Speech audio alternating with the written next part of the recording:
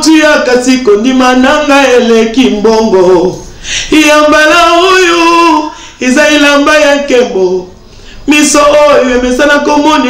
Voilà, merci euh, à tous ces gens qui sont nombreux connectés devant leur poste téléviseur en train de nous suivre de partout dans le monde. Nous sommes en direct. Euh, dit la voix céleste, Awan Bakaka, Lola isofuta Mais nous avons euh, nouvellement Koyamawa, Oui, Tozanango, depuis un moment maintenant, ici en République démocratique du Congo, nous venons de perdre notre maman, notre euh, grand-mère, notre tante, notre maman Kouloutou. Euh, depuis les 6, euh, tu peux perdre maman Kapi Kapinga Wazali, maman Ndeko Nabiso, Euh, frère Alvino boyebi bien azali euh, moko ya ba journaliste ya monene awa na République démocratique du Congo et vous avez suivi les différentes réactions de gens des invités qui sont venus passer pour rendre hommage à cette grand maman qui a qui a qui a qui a vraiment qui avait vraiment un grand cœur oyo abandaki koyamba biso bien tozalaki na ye bien na batango nyonso Euh, nous vous rappelons que Maman Kapi Atika Kibiso na Tongo ya le 6, donc c'était à 5 h du matin, suite à une crise cardiaque, vraiment, et ça la Kibiso passe ma casse que baké tozaki na maman bien, na Boutou ya le 5 mai, na Tongo Ndeka Balobaka, Ezali, Mukano ya Nzambe, awa tozali na butu tozali kocompatir na ndeko na biso papa alvine bea oyo azali na, na mpanzi na ngai nde boza komona awa kuna mpe tozali na maman tifani mokwa oyo aye mpe korendre frère alvine visite na, na toujours na cadre ya kocompatir na ndeko na biso nde balobi tolela na baoyo baza kolela mpe tosepela na baoyo baza kosepela je dis déjà un grand bonsoir à l'homme de dieu frère alvine bea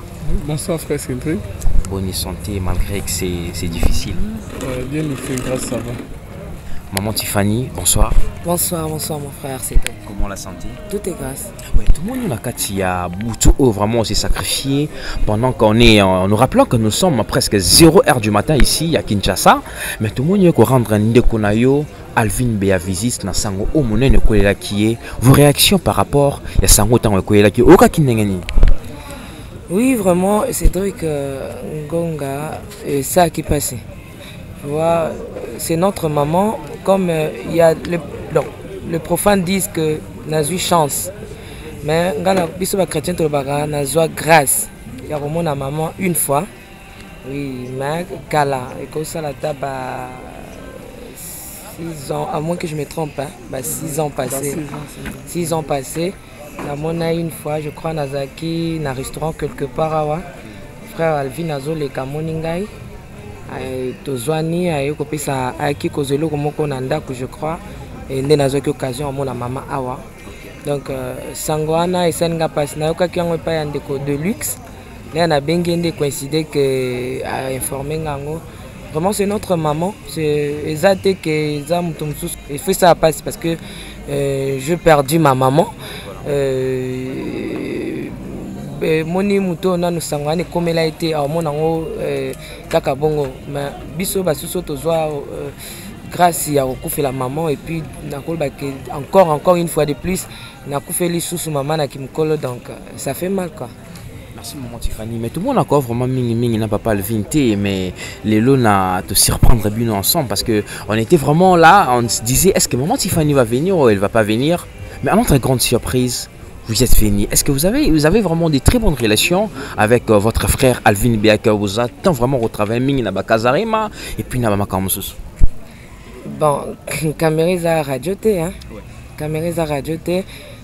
Nga nayo lela nao maman.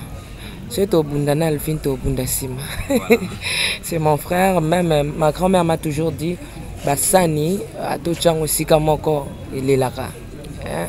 ebetanaka euh, nini towela na Alvin touti ndako moko euh, parfois ce n'est pas Alvin, parfois c'est pas moi aussi, mais eza bato tu vois neti otuni question wana lem so eza kaka bato nde bacreaka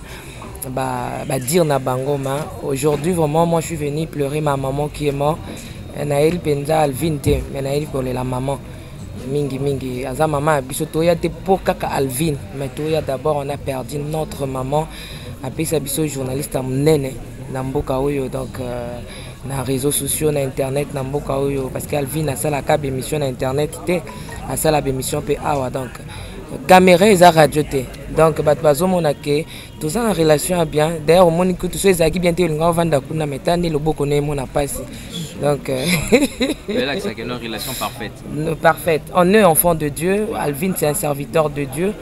moi servant de dieu donc euh, toza bana ya royaume moko Et mon euh, Bible dans toutes circonstances glorifier le Seigneur. Euh, maman Pessinga aussi occasion et on de Konanga donc 26 euh, sous du donc gloire à Dieu six ans après je vis encore Alvin Béa. tout près de moi je dis seulement gloire à Dieu merci beaucoup euh, tokopesa vraiment maloba mingi na ndeko na biso alvin beate parce que aza na kati ya pasi makasi nde boza komona avec les images bozotikona na intervention ya mama tiffany nous rappelons que le programme eza déjà officiel ya matanga ya mama na biso euh, kapinga déjà c'est lundi 17 euh, deuxième mois 2020 sortie du corps de la mort de l'hôpital saint joseph euh, et le corps sera exposé dans la salle Gracia sur avenue euh, de la Victoire victoire numéro 51, quartier Matongé, commune euh, de du Kalamu référence chez Bibi Play donc euh, bande bandeko baby victoire hein, au baby euh, Kauka bien donc euh, loin, Kakawana référence à Bibi Play donc nous serons là pour plaire notre maman pour compatir avec toute la famille Mukwaya, la famille Béa, ensemble, l'homme de Dieu, na bandeko nyonso baza kolanda biso oyo oh, vraiment message oyo ya liwa ntango oyelaki bango etouche bango etutisaki bango makasi na komona ndeko na biso uh, tifani mokwa aye korendre visite malgré ke eza na ntango ya mpasi impression na yo eza ndenge nini komona ndeko na yo tifani mokwa aye korendre visite ok tifani mokwa euh, aza ndeko Mm, totravaya na ye mosala moko ya nkolo oyo ke nzambe alola abenga biso esurprendre nga babengi nga ke azoya eh, nasepeli mpe nakomona présence na ye lisusu parce que tobango komona mingi mingi kaka ke na nini ya kadare ma mosala r mo tozokutana kotoyo r mo tozokutana libanda me nasepeli na présence na ye sede elakisi ke toza na biso ya bonne teme toza na biso bien Eh, nazo rappeler mpe na bando bazolala na biso baoyo mingi bakomelaki nga mama akufi na age ya 57 ans ok jour akufaki tozali na ye mercredi na butu bien ba 22h30 azopesa nga baconseil bani tosolo mpe makambo no fo oyo ya koaccompagne nga na fete ah, mama nakozwa temps te ya koya na bafete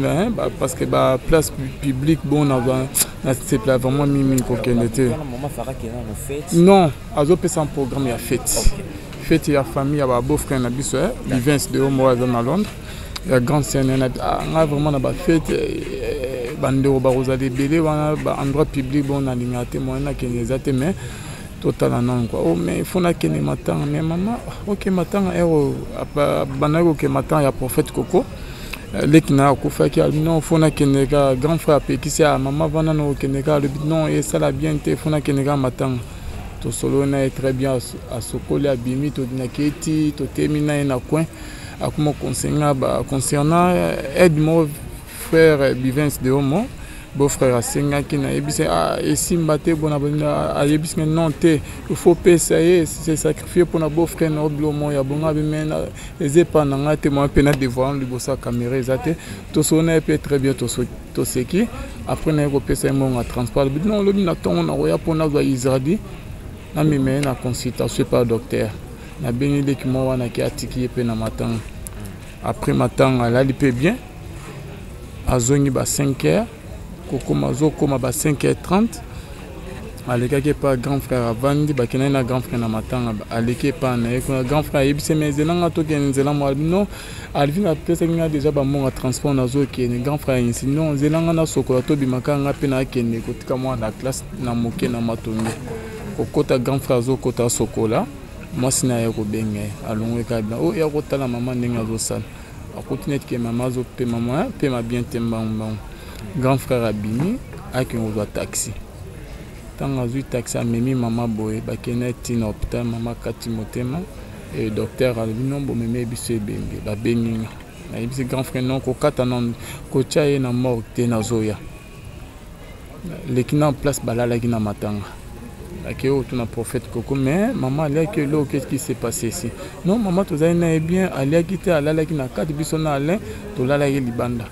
mais na tongo ape tosololi bien bazongi nzela moko na alain eh, lorsque bazongi nzela moko na alain problème ezalaki te mais eza nini nalobi no babengi nga ke mama akufi nabengi alain no bokokisa corps ya mama na mort te naboyi bakotisa tokomi wana ti sur place namoni mama nakomi boprie prie nazole nazo prie na espoir ke nzambe akokaki mpe kosala miracle parce que tout est, est possible liboso ya nzambe eh, donc esepesi nzambe mama alamuki te après badocteur baye koba non faut tokoseye na morgue bakonzi ba baza wana bo na bo donc donc nde bible ezoloba ke eh, nous devons glorifier l'éternel dans toutes les circonstances nzambe apesi nzambe azwi que son nom soit loué mais naza sûr et certain ke mama na ndenge abandaki koluka elongi ya nzambe depuis bomwana na ye ye moto alakisi biso nzela ya nzambe molimo na ye epemi na kimia donc c'est ça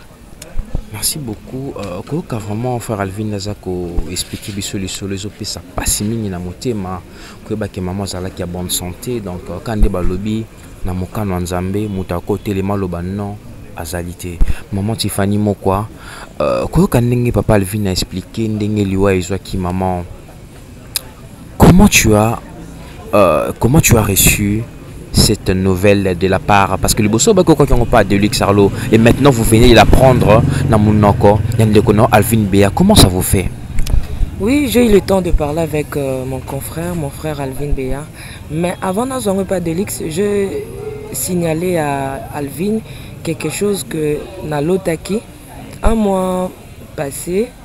nazwaki songe euh, tozalaki na lvine euh, ensemble tozoseka ayambi ngai na émission ah, nasutuki ah, ntutu elingi oloba nini nabeti yango kara je crois mama akufaki mercredi à moins que je me trompe mardi nalali naloti susu ndoto euh, alvin azalaki mawa me na ye wana naye kotala ye place azalaki nazosola na azoyebisa nga azoexplike nga makambo moko epuis toyambani na ye na alvin nasutuki nabeteli maman maria me mama tala defo yango nazolota alvin elingi euh, oloba nini abi ah bon nzambe ye moko ayebi ya nde ntango naye na mosala euh, le mardi là ekomi mercredi voilà naye na mosala nabengi de luxe parce que euh, nalingaki nasolali makambo boye naza nango ya concert na nga nde azobisanga na naza epa alvine euh, mama atiki biso donc je compris que euh, le seigneur m'avait déjà signalé quelque chose donc euh, euh, mwinda moko esi ebetaki ya kosignale efesa ya mpasi ndenge nalobaki ke na ebandeli ntango otuna ngai soki nano ekomela yo te eloko moko ya pete vraiment esali nga mpasi makasi esali vraiment mpasi parce que euh, omoni yo moko meme nayebisi yo nauti hôpital eh, nazobela santé eza mwa vraiment bien te par la grâce de dieu nabaki coute que coute lelo parce que deux jours nakokaki jamais nalingaki nakekuta mama déjà corps ebimi nde namona bino non non s'il vous plaît mais ntango ozwaki euh, message wana de la part du seigneur est ce que osololaki na ndeko no frère alvin te oyebisaki no ah, ndeko na ngai nzambe alakisi nga boyeboyeboye moni babilo mosusu ezalaka nzambe akoprévenir yo à travers yo mpo okosauve molimo ya ndeko mosusu est ce que osololaki na ndeko na alvin te ke no frère alvin tala nzambe alakisi nga boyeboyeboye non ce qui est vrai d'abord euh, na comprenaki message yango te oyo ezalaka soki ocomprendre message nde mosu omonaki alvin azolela nga na komi namoni kaka ke liboso na lota ete tovandi na ye ya mibale mpe susu namoni tovandi na ye vois so omoni neti message azolela bon mwana na comprenaki yango te je même demande ah, mais lingi oloba nini namoni naketa tozalaki na lvine azoexplike nga makambo moko epuis toyambani eh, lingi olakisa nini tu vois nakoki koyebisa oh, nakoloba nao neti nini wana parce que le seigneur akashaki message donc le seigneur voulait tout simplement lorsque euh, likambo ekomi na ah donc nzambe abandaki koyebisa nga ke tokovanda lisusu na alvin c'est comme bible ezoyebisa biso na joseph na lisolo ya joseph donc lorsque euh, joseph a interprété basonge ya deux euh, prisonnier oyo bakangaki na ye alobi donc yo okobima oko kozala lisusu na, na ndako ya roi okolia lisusu donc euh, le seigneur voulait tout simplement me dire que je serai encore avec mon frère alvin tokovanda lisusu tokosolola lisusu donc année ya sika donc euh, makambo ya sika euh, je bénis tout simplement le seigneur Euh, parce que soki ezalaki ke eloko moko boye elingaki koleka lisusu nzambe alingaki alakisa ngai parfois alvi na olela alors na moment wana le mosusu nange nasambela mais je trouve que liwa ya maman eza volonté ya nzambe eke nzambe abombeli nga parti ya kolela alakisi nga ka parti ke toyambani naye kotala ye tovandi bon ekokisami mpe tovandi na alvine naolobaka ke euh, dieu merci mama si akolisi biso nayebisi meme frère alvine mama asi akolisi biso tokoli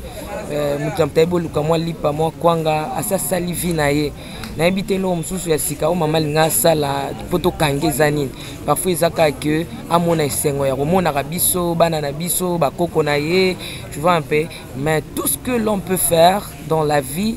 soki eza na 100 pourcent moins 80 to 70 pourcent mama asali ayebaki nzambe akufi ayebi yesu masiya asaleli nzambe alakisi biso nzambe ake na kimia donc biso nde bato totikali siko toyeba etamboleli na biso eza ndenge ni par rapport à ce que maman nous a montré Merci beaucoup, maman Tiffany. Et puis, euh, on nous signalera que vous êtes euh, chantre de l'éternel aussi. Muana loyembo mukie tolela maman na biso kapinga ensemble to compatir na ye na ndenge loyembo na ndenge ya kibonzambe maman Tiffany. Oui nakozala tokoyemba na salle nakozala moni aza esika ya ko moni bato baza ebele awa toye kolela soki omoni la mosuku bando yemba boye tu vois moi frère alvin abi aboyaki noke feti parce que elongi ya koni alingi nayeba bisika ya publiki te ape to wana esika toza na balabala to wana na mpasi na salle donc euh, nakozala le jour matanga ekobima tokozala tokoyemba epuis euh, na enterrement tokozala tokoaccompagne mama ti na demeure na ye donc tokozala okoyoka tokoyemba Merci beaucoup. Nous rappelons que le curseur, euh, c'est du 7 euh, avril 2020. Euh, euh, le corps sera exposé à la salle à la salle Gracia sur Avenue de la Victoire numéro 51 quartier Matungé, commune de Calamo référence chez Bibi Play, non loin de Maya Donc euh, c'est mardi 18 euh, avril 2020, l'enterrement au cimetière des Nécropoles 1 entre ciel et terre. Donc euh, Tozawana, tokolela mama na biso ensemble na bandeko na biso bamama tifani mokwa frère alvin un mot de la fin pour conclure cette émission ok eloko nakoyebisa bandeko bazolanda biso esengeli to comprendre ke lelo toza mbonne sante ozosala na oyo nyonso to olingi me yebaki minute oyo ezolanda eza ya biso te euh, okotambola no neti kende tosolai na mama tosali programme ana kokende feti lobi na tonso tokutani ifo namema koko na ngai na consultation mama abosanaki ke lobi ezo appartenir na nzambe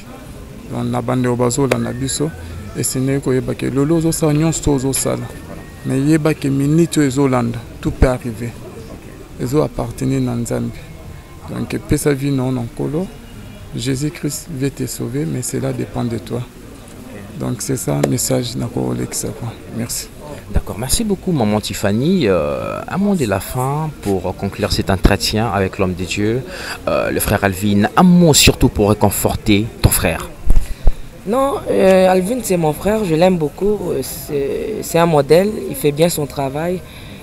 Euh, tozolela maman on est là tokolela maman biso nyonso te surtout que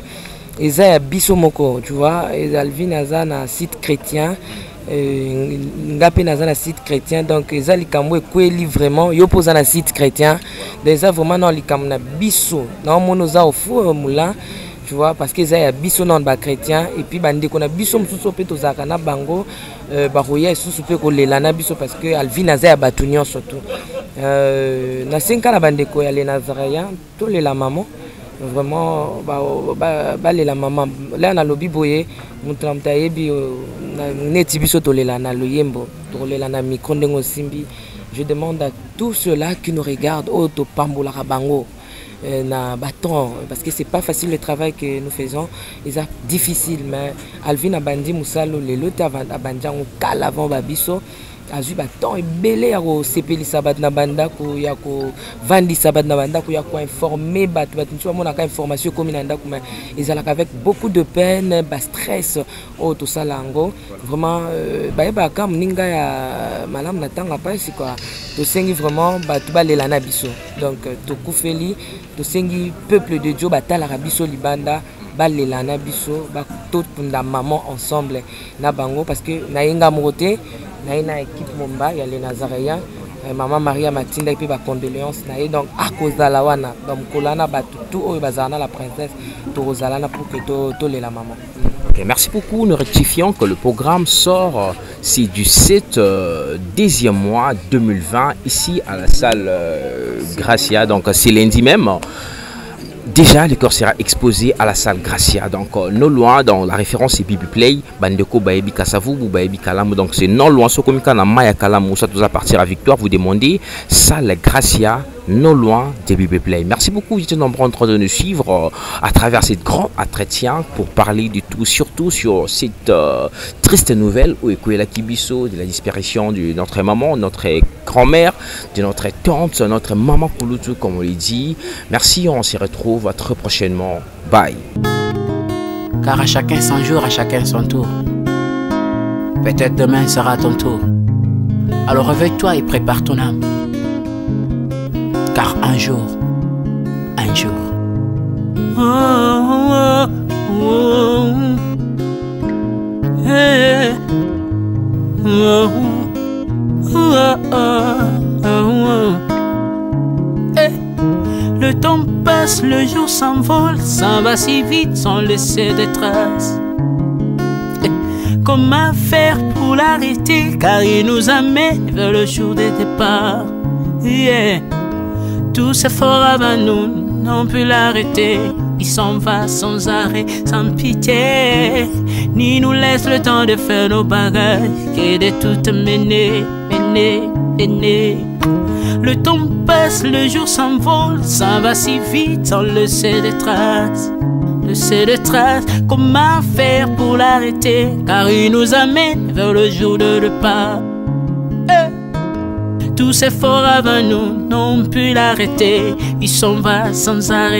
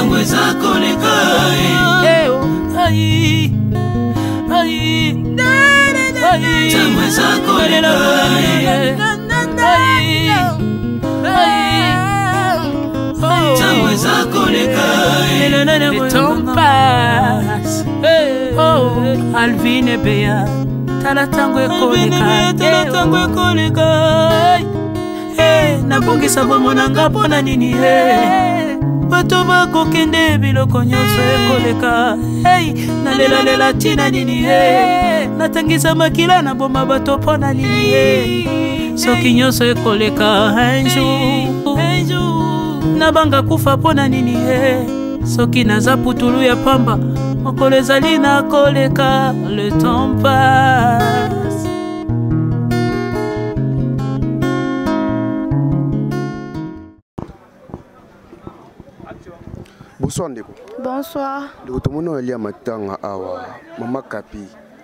aza nani epa nao bon mama kapi aza mama moko tofandaki ne na lupangu awa azalaki bayeres na biso tofandi vraimen ta molai wana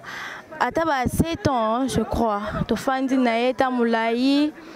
ti toye kolongwa tomonaki ndako ezali ya moke me ya bandaki kaka kobondela biso tofanda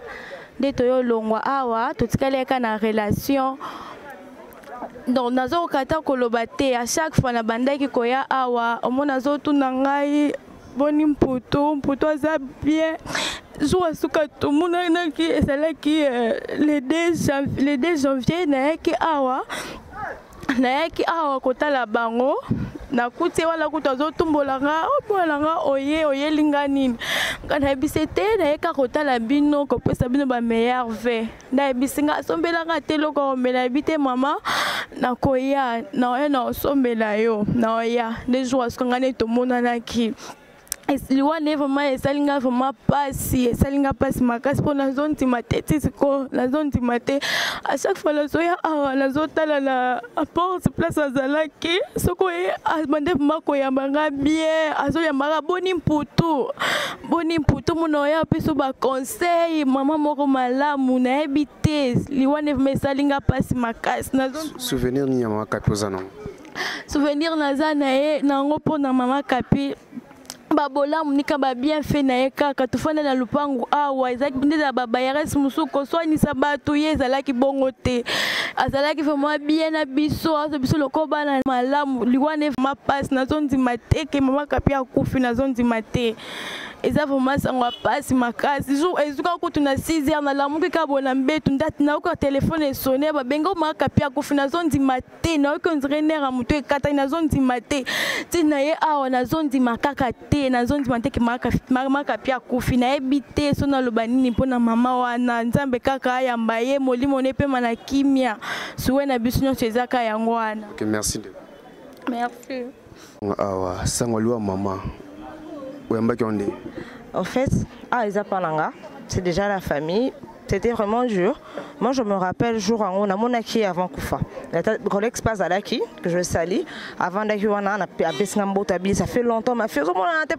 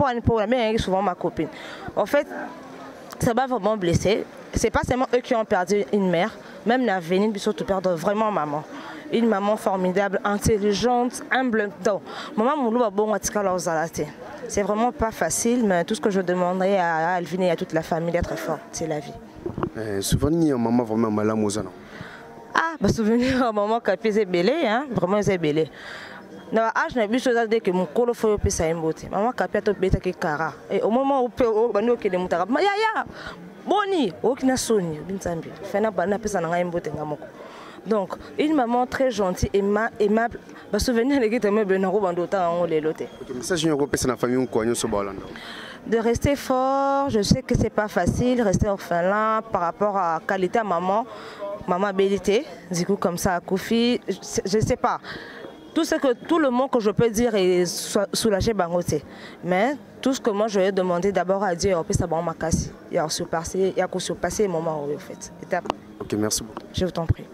Mbote Papa Max. Euh, mbote ndeo na ngai. Papa Max, tomoni on alia matanga awa, sango ya matanga ya maman, oyambaki on lengini. D'abord na pesi yo merci pour na question tuninga ndeko Alvin. C'est notre frère. C'est un ami,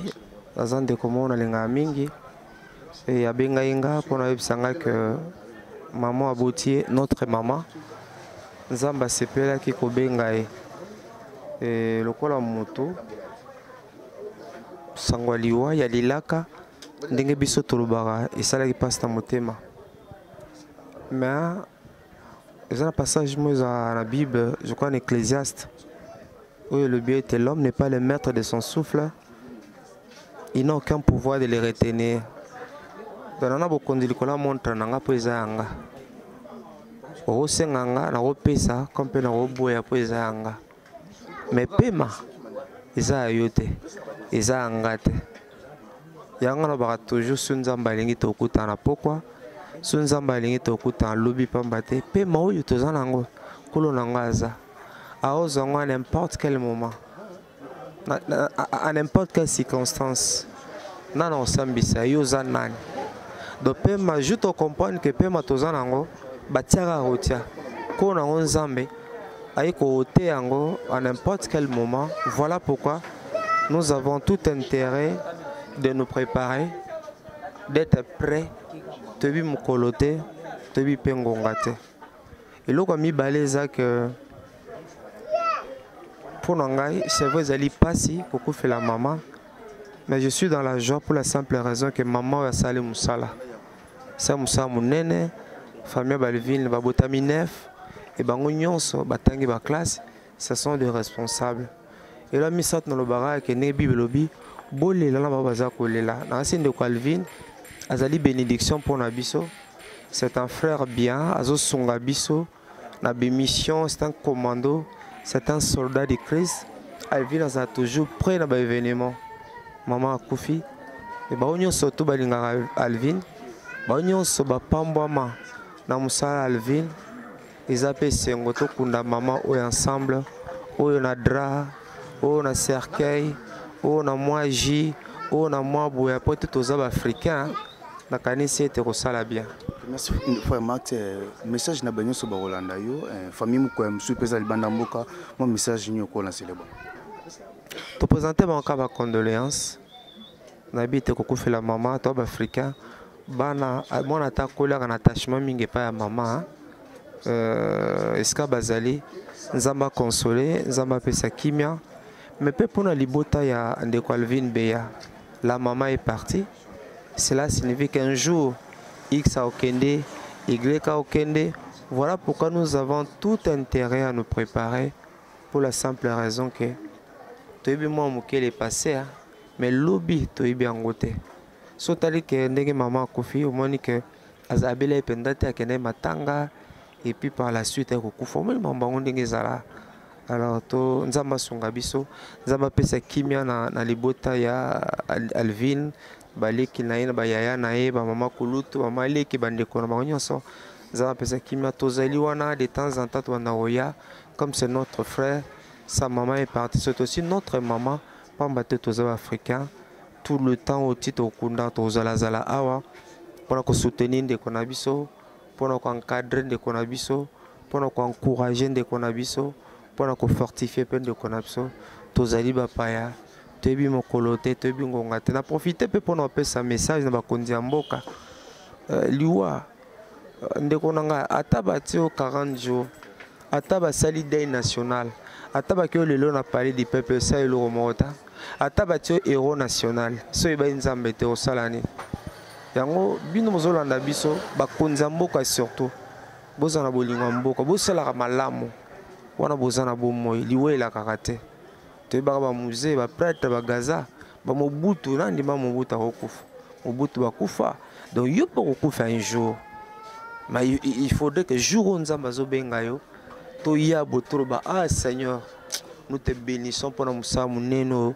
mama asali ndeko asali est ce que bino bakonzi ya mboka oyo boolanda biso est ce que bajour nzambe abenga bino surtout na moment oyo tokoloba mpe keno ah nkolo merci naondima ta mpo bonyokola biso bosakana na molimo na biso bino bozotonga baimmeuble bino botinda bana na poto na bacondition ya bien toa contre bana na bino te mibotala nde tonyokwama papa surtout mikolo kende na morgue hôpital général tozongela yango après puiske tobelaka liwa otala solo eza na solo eh, solo eza na morgue okoka te jete la hier solo hôpital eza lokola fulu etambola partout ese bakonzi na biso bamonaka te quel genre ya mitema nzambe apesa bino wana eza kaka vango tolobela yango après merci beaucoup farmance Personnel, à quoi bon tout gagner de me sans que vanité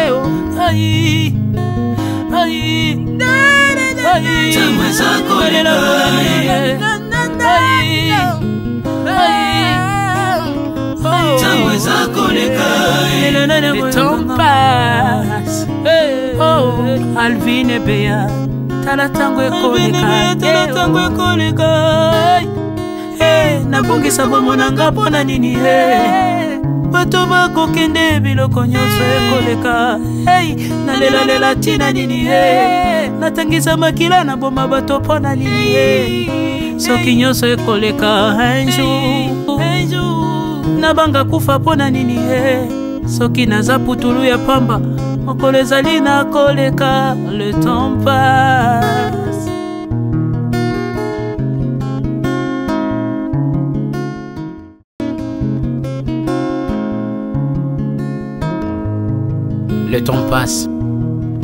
Elle ne s'arrête jamais. Alors réveille-toi mon ami. Et tout ce qui nous quitte chaque jour,